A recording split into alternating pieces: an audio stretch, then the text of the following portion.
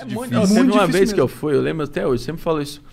Eu fui, eu- cara, eu fui a pé da minha casa. Eu morava no Alto da Moca, tinha um show ali. Eu fui a pé, andando, deve ter dado seus oito minutos andando. Entrei no bar, a hora que eu entrei, eu falei, cara, não tem por que dar certo isso aqui. Não tem como. Não vai rolar. Não tem como. Isso aqui não vai dar certo. Eram três humoristas. Eu, Igor Guimarães e Caio Mágico. Tá? E, e do- dos três, eu era o, o- o menos engraçado. Caio vinha com as mágicas, era impressionante. Igor vinha com o trejeito dele, era impressionante. Eu vinha pra acrescentar a noite. Eu acho que eu vinha porque eu era- morava perto. Cara, Caralho, ele é. Ele é, muito pior que eu, é cara. tipo Arthur Estatística. Petri, tá ligado? É estatística, é estatística, Igor. É estatística. Naquela noite é estatística. Não tô me pondo pra baixo, não. É estatística.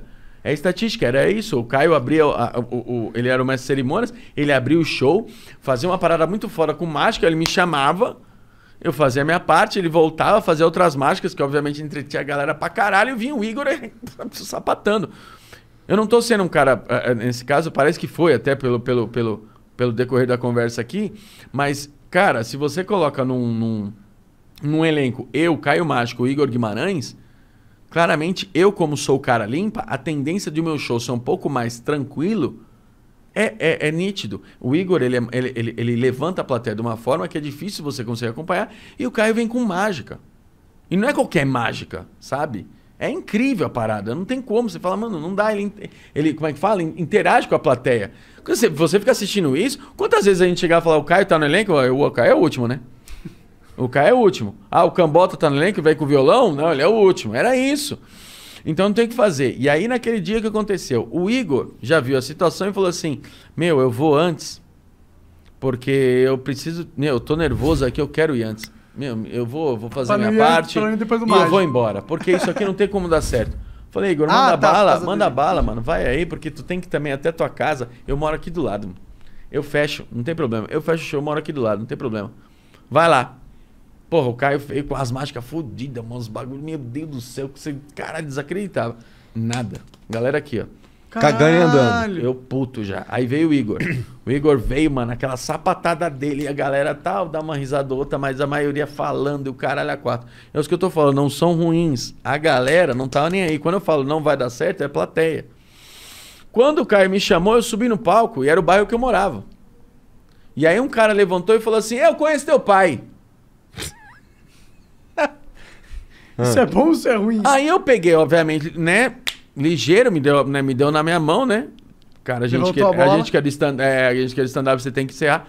Falei, não conhece não, pô. Como assim conhece meu pai? Eu falei, eu conheço teu pai, pô, da São Rafael Igreja. Eu falei assim, cara, se tu conhecesse meu pai, tu sabia que ele tinha morrido, pô.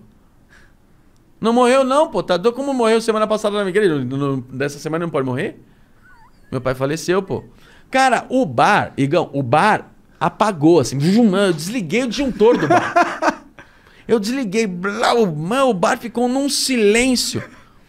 Aí eu falei, na real, rapaziada, é que meu pai não faleceu. Eu só falei isso pra ver se vocês ficavam quietos, que já faz praticamente 50 minutos que tá rolando show de stand-up e nenhum de vocês teve a paixão de prestar atenção. Se vocês continuarem falando desse jeito, eu deixo meu microfone aqui, eu vou embora. Eu moro a 8 minutos daqui andando. Caralho, meteu a bronca. Então, essa vergonha que eu tenho, essa timidez que eu tenho, quando eu me irrito, ela vai embora. Ah, falei. Aí teve uma senhora na mesa da frente e falou: Aê! Aí ganhei. Porque, cara, quando uma senhora levanta e fala Aê! Pô, eu ganhei muito a galera, né? Aí todo mundo, é, então beleza. Aí, cara, mas foi uma sapatada. Mas, meu, eu fiz tipo 10, porque eu não queria mais ficar mais. Eu fiz uns 10 minutos. Eu não quis pegar caixinha, não quis pegar nada. Eu fiz 10 minutos, mas foi uma porrada.